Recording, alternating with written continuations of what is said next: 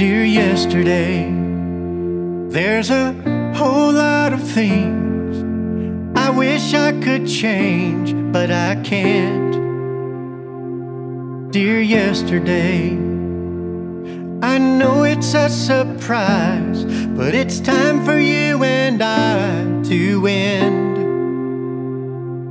You've held me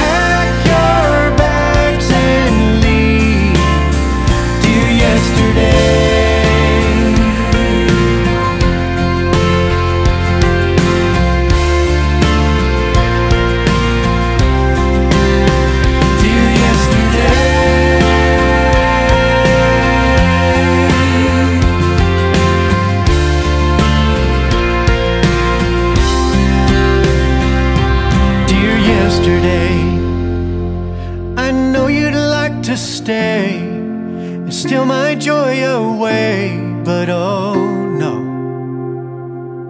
Dear yesterday,